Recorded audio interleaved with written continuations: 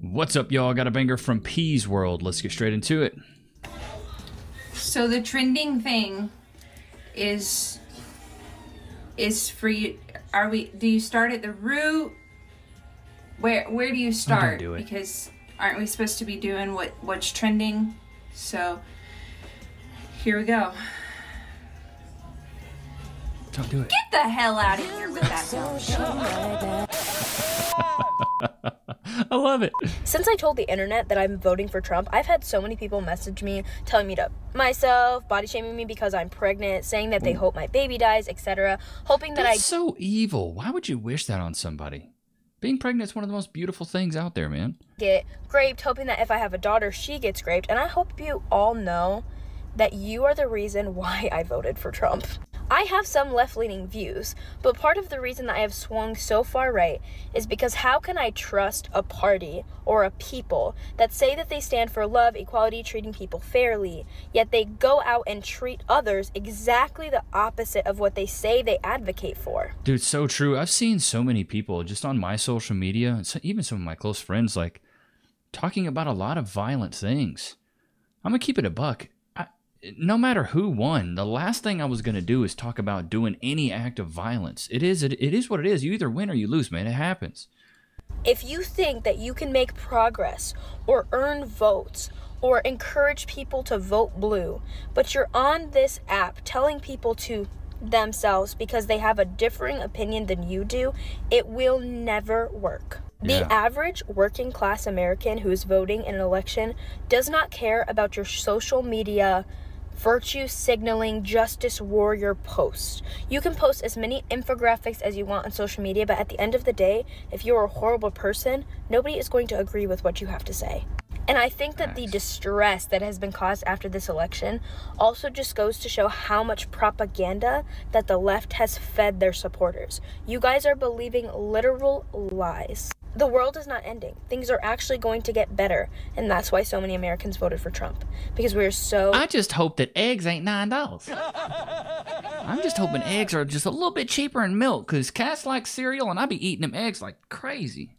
Tired of you guys lying and being hateful and trying to say that you stand for something but completely acting the opposite way. We're tired of you, and that's why we voted for Trump. What did I say? Wow, at least she stood up for it. I know the dating scene sucks, but so does getting hurt in an accident. Have you ever found yourself involved in a personal injury case? As an image consultant, I meet a lot of clients who are actually recovering from all sorts of injuries, from car accidents to workplace injuries. And I was actually surprised to see at how many people lose their personal injury cases, which is why I want to talk about Morgan and Morgan, America's largest injury law firm. They specialize in a wide variety of personal injury cases, and they've won thousands of big cases. And if you do end up working with them, they're going to fight for the money that you deserve. Just recently, Morgan & Morgan solidified verdicts in Florida for $12 million and $26 million in Philly. That's up to 40 times the highest insurance offer. And I'm telling you, your case could be worth millions. And the best part is, it's all free unless you win your case. Now, if you've also been the victim of a personal injury or a serious accident, you can visit www.forthepeople.com slash Levi, found in the description below, where you can start your free claim today. Brainwashed, bitchy, bitter, and now bald? I think I finally understand the 4B movement. This so called 4B movement going on in the States at the moment is actually beyond disrespectful to women. I'll say this you are allowed to not be happy with the results of the American election. If you want to go online and say fuck Trump and all of that, fine. Whether people agree with you, disagree with you, doesn't really matter, but that's an opinion you're entitled to have. But going online, shaving your heads so that way men will have nothing to do with you, their words, by the way. On one video, I saw of a woman doing it, so that way men will just have nothing to do with her and she will repel men, is so beyond disrespectful and rude to women who have alopecia and are going through chemo treatment at the moment. I can't even begin to put into words. It's not how feminists operate. Yeah, yeah, yeah, yeah. That's not. Yeah, they don't operate off of uh, logic there. But what's funny is that they're doing this. They're shaving their heads and they're they're self canceling themselves. They're destroying their own movement in live time. It's um, it's awfully hilarious. That. Do any of these women who are doing this realize actually how privileged they are in life? Claiming you have no rights or you're losing your rights while you set up your phone, most likely your iPhone, which will be costing at least a grand, in a tripod, making sure you get the perfect lighting, to then get a shaver or some scissors or whatever, film yourself shaving or cut, chopping off all your hair, and then posting it on social media to prove a point. The actual 4B movement going on in South Korea, frankly, this makes a mockery of it. And claiming to have no right, I'm sorry, it's an absolute mockery. I've always said I'm a feminist, but a traditional feminist, where I just want equal rights. This new wave of feminism to me is absolute bullshit. I'm sorry, this has really ticked me off because I just feel so, so sorry for any woman who has alopecia or going through cancer treatment or anything else, any other reason why she just doesn't have her hair. And you have all these other women saying, I'm going doing this so that way men will have nothing to do with me. They'll hate the way I look. They think I'm disgusting. Do You not realize how disrespectful you're being to actual women? And saying you don't have any rights there are actual countries in this world where women really have no rights. Exactly. The legal age of consent in Iraq is being lowered to nine. Oof. In Afghanistan, women aren't even allowed to speak in public, have no access to education, aren't allowed to show their faces, their hair, or anything. Not a choice, they're not allowed. They can't drive. Like, I mean, literally have no rights at all. All because you disagree with what the majority of Americans had voted for. This is what you do, claiming you have no rights. As I said, you are entitled to not like the election results no one's going to say you're not. But the amount of privilege coming from the, the videos on TikTok with these women doing it is just frankly disgusting. And so they're saying you have no rights. Really? I'd ask any woman who's taken part in this 4B movement to actually go over to Afghanistan, to go over to experience what the women in South Korea are living through, to go to Iraq where the legal age of consent is going to be lowered to nine. Then please tell us what rights those women have because clearly they're so privileged, according to you. I hate Trump as well, by the way. I hate Kamala. I think they both suck. But one thing I'd never ever. What did South Park say? It's the different. Uh, it's you have to choose between a a giant douche and a turd sandwich. do is try and make myself seem repulsive and horrific and so-called ugly by shaving my head and essentially making a mockery of thousands, if not millions, of women who have sadly lost their hair for numerous reasons truly disgusting. Look, I'm- i mean, she's got a really good point, and shout out to her for uh, you know exposing the hypocrisy. Like, there are women out there suffering from alopecia and suffering from cancer that they do have to shave their heads, and to insinuate that having a shaved head means you're repulsive to men, so disrespectful to those women who are actually going through something that's like that's I wouldn't wish that on my worst enemy going through what those women go through, or a man even, but it's just funny that it's imploding. Like they're doing this to try to like stand for something, but actually canceling themselves by shaving their own heads. It's ridiculous. What kind of rights do you feel like women don't have in America? Oh wow. Um... And and another thing to that girl's point, ladies, if you really think that life is really hard here, go to Afghanistan, go to Iraq. You you really want to see what it's like? Go to Afghanistan for a month, where women have no rights at all. You can't drive. I'm pretty sure you can't drive. Don't quote me. You can't drive. You can't own anything. You have to be married. You have to be covered up at all times. Go over there. And then and then come back over here. You're going to be so privileged. And what's the quote? Is it I think it's privilege is blind to those who have it. Like we're so we have so much privilege that we forget how good life is. Um, what do you think? Gosh, that's such a good question. I guess it's not necessarily right, but there's not enough female representation in politics. Yeah, that, that is a good question. You know, I think women should have the right to feel safe. We deserve a government that supports us. You're in a public place with you and one of your girlies with your little latte. Do you not feel safe? Like I, I don't know. I feel like if you didn't feel safe, you'd be wearing body armor or something. The right to feel safe. So it's not about rights. It's about feelings. I mean, he's got a point. Korean women have no idea what the 4B movement is, and we need to stop this misinformation.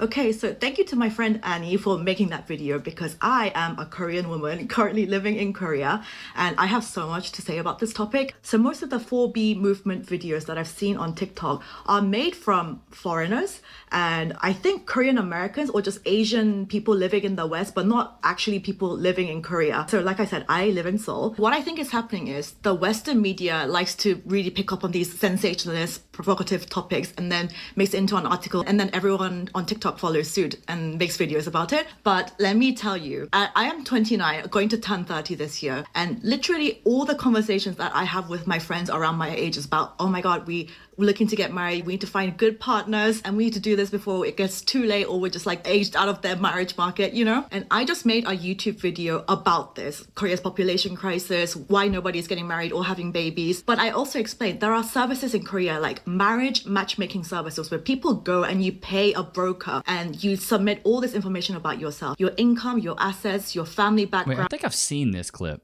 If you have any debt, like which university You know how you know how beneficial it would be if we had a marriage matchmaking service like that that took all of your assets, the level of education you have, your personality, and like matched you with a man. That would be great. I feel like that'd be fantastic. But matchmaking services now are are awful. you you guys have probably seen that show Millionaire Matchmaker or stuff like that. Like people are just looking for the wrong things most of the time, and even these matchmakers aren't even good. Bro, y'all should have been started the 4B movement. Celibacy the wave, you know what I mean? He said celibacy the wave. You better sell a bit of that.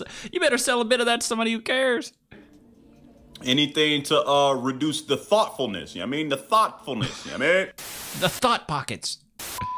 Parliament is on the. I think if the 4B movement actually curbs the rise of promiscuity, we'll have more relationships, more children, more nuclear families, and we'll be more successful as a as a culture and as a society.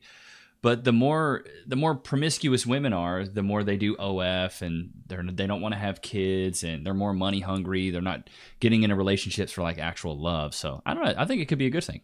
Verge of passing a law that would allow girls as young as nine years old to be married. This is horrible. This includes allowing parents to arrange marriages for their young daughters. Rachat, what do you guys think about arranged marriages? Uh, personally, I think they should be adults before you arrange a marriage. This is oof. Social activists, Sunni religious leaders, and women's rights groups who oppose the proposed amendments have organized protests to denounce the government's efforts as an attempt to legalize child rape. Ooh.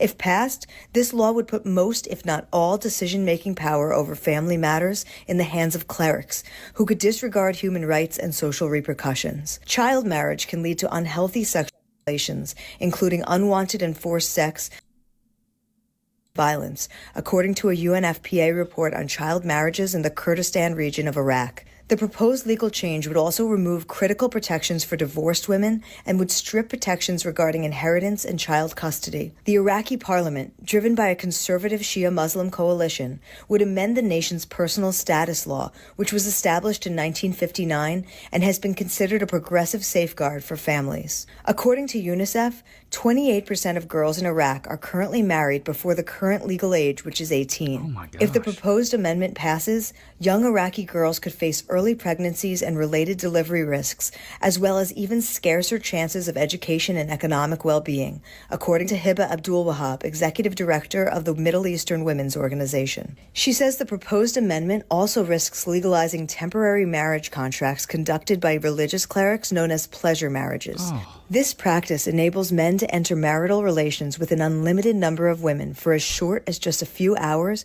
or as long as just a few months. What? Bro, I don't know. I think that's awful. There's no way we should. And I've talked about this before, man. When you start looping kids into stuff, is when I start. I start really disagreeing, man. There's one thing that you should never disturb, and it's the innocence of a child. So that that irks me. That's crazy. God, that's nuts. For women who are saying that women in America are not oppressed and specifically I like her jacket. I don't know what that is, but I would rock that. White Republican women who are getting on this app and saying that, oh, American women are just whining, they're not oppressed, they don't have it bad, just tells me that they are not very intelligent. And I'm not saying that to be rude, I'm saying that to be clear. Saying that American women are comparing themselves to women in other countries and other demographics is wildly misleading because American women are not saying that we have it worse than others. We are saying that we have it worse than the generations before us in our own country, which is a warning sign to slip into even more oppression. Women oppressed anywhere is women oppressed everywhere. What? Huh? Wait, let me let me just before I get upset. Let me just. Where, and I think what those types of women fail to recognize is that radical shifts do not change overnight. We slowly and silently get our rights stripped away and then get the finger pointed in our face saying it's not a big deal, you don't have any rights slipping away. If a woman in the 1970s was more free than I am in 2024, that is telling me that we are going in the opposite direction of liberation. And it You know what? Let's do a quick Google search. You know I like to do these Google searches. Do women, do modern women have more rights than women in the 19 uh I can't I can't push 7 because it changes scenes. Yes, compared to the women in the 19 Yes, compared to the women in the 1970s, modern women generally have more legal rights and opportunities. Due to significant advancements in women's rights movements, including greater access to education, employment, reproductive health care, and pr- uh, protection against discrimination in the workplace, making their overall legal standing considerably stronger today. So, what are you talking about? Stupid. What are you even talking about? Uh, just one quick Google search. She's calling us low IQ. Bro, what? Stop the cap. It will require resistance to keep that from going in the wrong direction. What rights? That's what I'm saying. What rights are we talking about? I just did a quick Google search and it seems like you guys have more rights now than you ever have.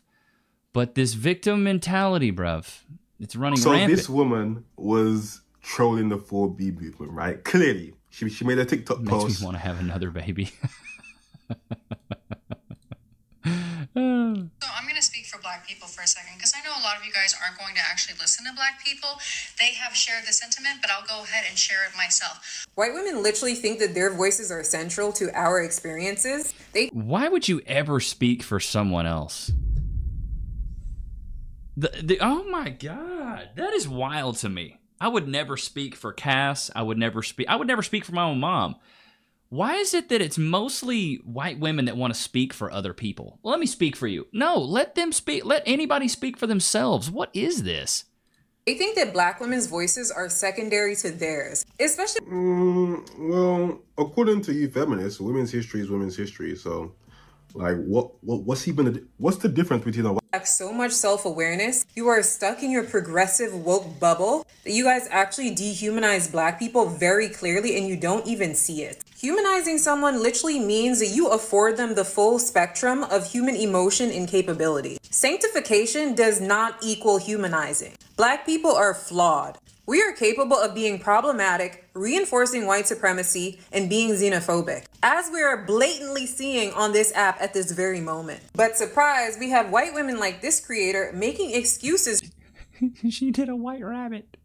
For it, just for the simple fact that we're black and she's trying to get her cookies and her brownie points for being woke. And last time I checked, liberation does not come at the expense of sacrificing another group of people for another group's comfort. Like, y'all are literally not feminists. How are you feminists when you're excusing anti Arab racism and xenophobia from black women? And the funniest thing is that she goes out of her way to actually point out that she personally does not agree with the comments of people saying they're going back to Starbucks. And she's doing this because she knows that it looks bad. That this type of narrative will actually ruin her reputation if she actually aligns herself with it. So you guys are battling to see who's the best feminist? I mean, damn.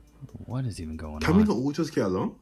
And so, what does she do? And she chooses to stay silent and hold no one accountable for it. This is peak white feminism because a lot of white feminists don't actually do things because it's the right thing to do. Optics are a lot more important for them. She's talking about how much she cares about the black community, how people never show up for black women. While she watches all of these black people and all these black women literally ruin their reputation. These women will literally yas queen you into destroying yourself, your image, and your reputation. They will stand back and watch it happen. And it's because they don't actually care. These types of people, they view blackness in relation to themselves and how having black friends, advocating for black women, how it makes them look because they don't actually care about the status of black women. It's literally all for show. Although I agree with what I mean, there's a lot of things I'm not educated on, and one of those is that I just know that you know Cass is, Cass is half black. I'm in an interracial relationship, and does it have its own kind of I guess hardships? But I feel like nowadays when we walk around, like nobody really gives us any flack. If anything, we get a lot of compliments.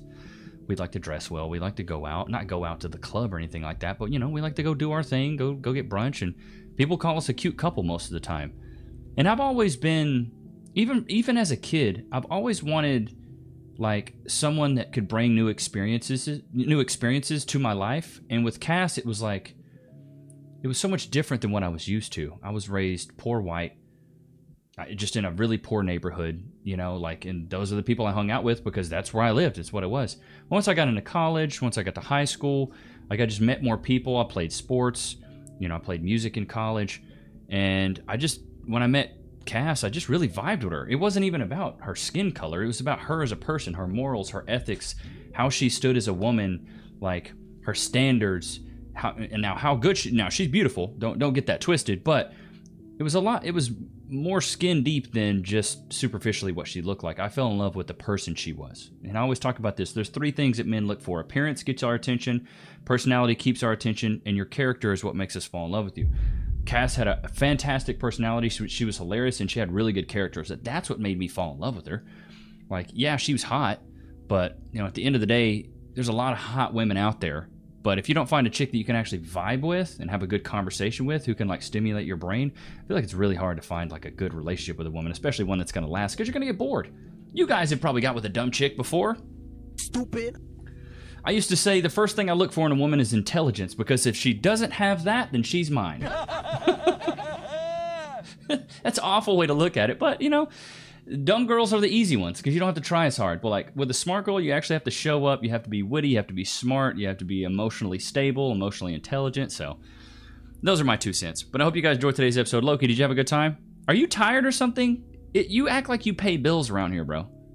But I hope you guys enjoyed today's episode. Don't forget to like, comment, subscribe. Go cop the ebook, The Four Pillars of Personality makes you irresistible to women and respected by men, and The Four Steps to Style ebook that makes you irresistible to women and respected by men. But I'll see you guys tomorrow, man. Peace.